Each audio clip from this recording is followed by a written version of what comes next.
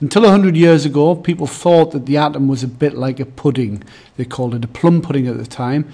And it was made up, it's like a sphere, like a circle or, or a ball, with charges dotted around inside of it.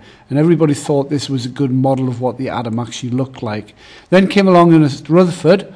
Exactly 100 years ago, he did an experiment with a few assistants and he discovered and shattered this structure of the atom and came up with a different one. This is what he did.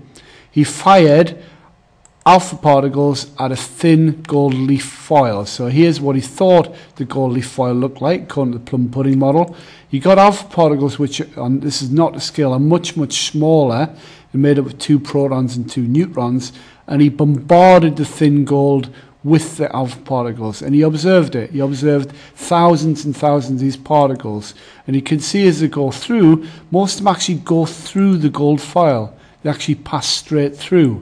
Then every now and again, you'll find that one of them might be deflected. So if you watch this one, it'll be deflected backwards.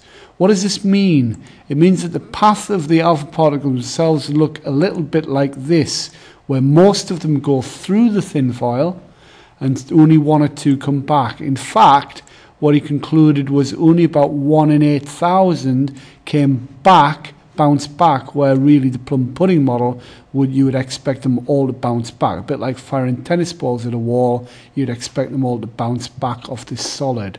So the conclusion here, what Ernest Rutherford came up with, very important discovery, is that the atom is actually made up of small positively charged nuclei, shown here red dots, and the gap between them is mainly air, mainly not air, sorry, mainly space. So the alpha particles can actually just go straight through them because there's nothing to stop them.